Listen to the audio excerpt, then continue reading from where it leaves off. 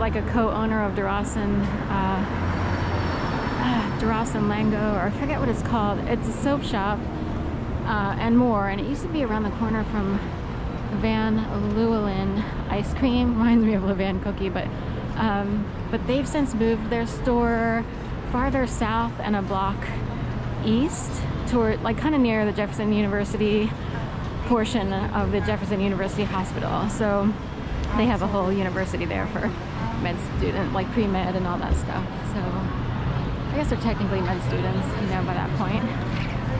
This is the neighborhood on a Sunday night. I'm surprised it's uh, the 17th of November and there's a lot going on, but it's from here on out it might be busy just because of the holidays. Next weekend will be a marathon, the Philadelphia Marathon, a tradition for many, many years. Yeah, Um, so that'll be going on, and then um, um, then it'll be Thanksgiving after that, and Christmas, and New Year's, and the Mummers Parade, and everything else. So it's really packed here at Pearl and Mary. Somebody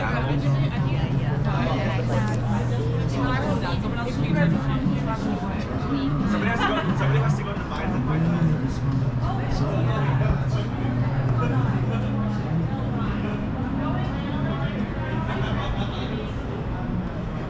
Is, you know, a commonly read name here in Philadelphia.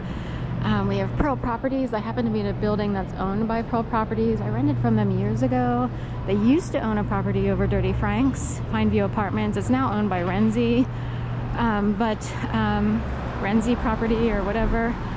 Uh, and for many years, I rented more from a privately owned, like a person who privately owned a row home that was converted to apartments, but he used OCF Realty to handle the showing of the apartment. But when I wrote my check, I wrote it to a personal person who owned that property.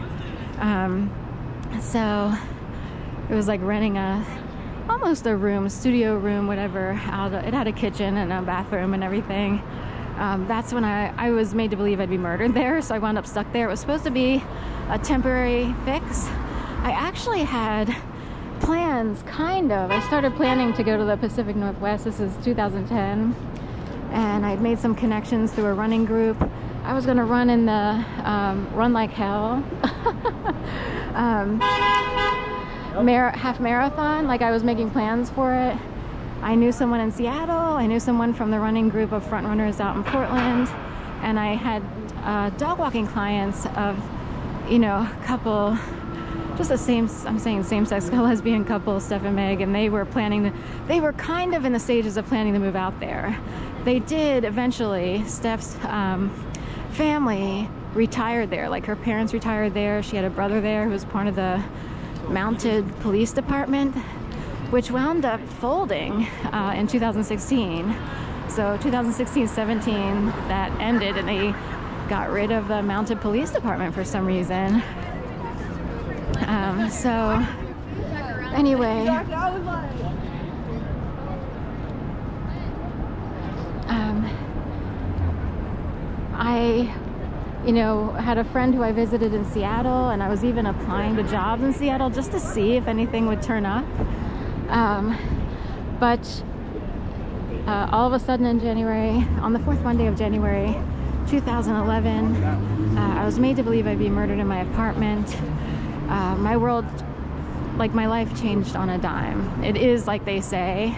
Um, and real quick, it was like everyone I thought I was connected with and was kind of happy because I had these peep peeps or what have you that I thought I was connected with and happy about and going to a couple shows too and grabbing brunch or dinner here and there. And all those people um, kind of didn't support me emotionally, like, you know, in a way, in a friendship way that I thought they would. So it was kind of on the odd side. And I don't know, I, you know, I joined up with a running group and I volunteered with two other groups.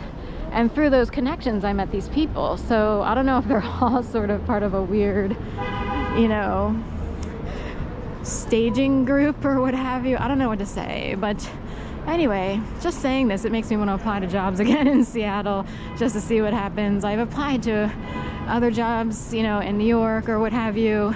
I don't really want to live in New York, but uh, my degrees in writing and I have publishing experience, and that's you know that's where job openings seem to surface.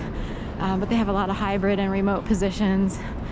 So anyway, I'll just keep edging along, um, and hopefully something will break. Can move on and close the deal on whatever started in 2011. It's so whack that that same week, Greenberg, uh, Greenberg, someone, there was a huge trial that made it to the Supreme Court just this past summer. And a young lady with the last name Greenberg was going to marry some guy with the last name Goldberg. and she was found stabbed in her apartment. And some people say they were self inflicted wounds. Other people are like, there's no way because um, how would she be able to stab herself, like in the back and on the neck and the back and all this stuff?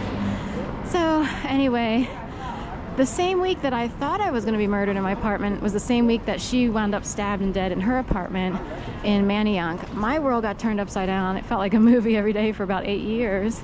Um, and I'm kind of curious why, if there's a parallel situation going on, like what that happened during the same exact week that my life changed on a dime overnight. Um, so I'm kind of curious, like, what the dealio is, and if anyone who's part of the secret